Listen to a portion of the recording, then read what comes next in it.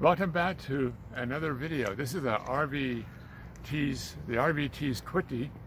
Today we're going to show you how to replace mirror arm marking light. A lot of uh, coaches have this style light. This one particularly right now, believe it or not, on a 2022 Fleetwood Frontier 36SS, it's actually an incandescent bulb. I'm going to replace it and one of the reasons we are going to replace it is you look very carefully right here, there's moisture inside this housing. It's manufactured by Grote Manufacturing. I actually called the company and they told me I had one or two choices. I had to do it with, I had to, I had to replace it with the original bulb, actually it's three choices. I had to replace it with a two LED unit or in this particular case, this is a G1503, which is a three LED unit.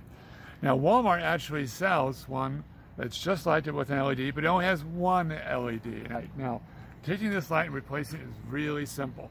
But I'll show you this, what it looks like here in the package, what you get. Now, right now, this particular one has a little bit of tape over the terminals. That's just to protect the terminals.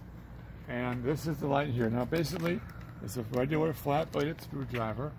I'm going to insert it in there and pop it and it comes right out here. Okay, so while it's out here, I'm going to remove the terminals. Now, this might have a little bit of corrosion. There you go. There's the terminals. Then I'm going to set that down over here. And I'm going to take this and we're going to put this in there Real simple. We'll have a link for these in the description below. Oh, there it goes. but it's not. Let's see. Uh, maybe it's not sitting right. Okay, let's try. It's supposed to be the right. Comparing the two together, uh, it looks exactly the same. But for whatever reason, oh, there you go. It's not exactly how it's supposed to fit, but um, this is supposed to be the exact part, but as you see, there's a little bit of a problem here.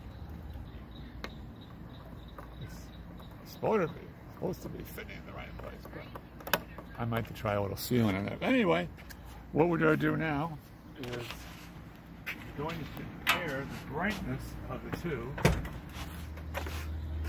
as you see, this is what the floor light is here. And here is the afterlight.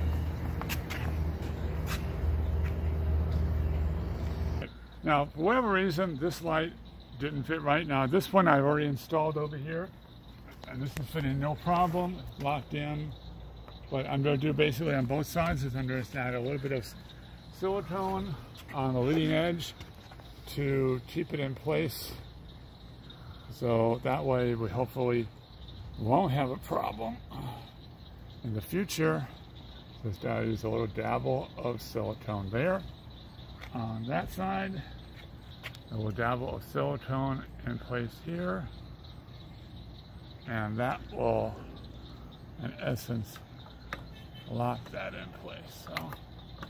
It should held in place, whatever, but it wasn't, so that silicone there will keep it from falling out. And the same thing on this side I'm going to do. I'm going to put this a little bead of silicone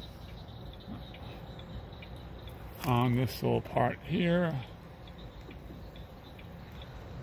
And this in no way will affect the functionality, but will ensure that these lights won't come out of me when we're driving. All right, so that's let them seal up there, and there you have it.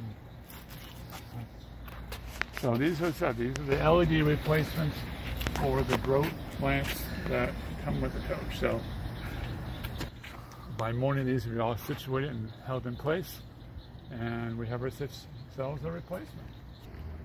Open the doors to adventure and start all your journeys with the RVkeys.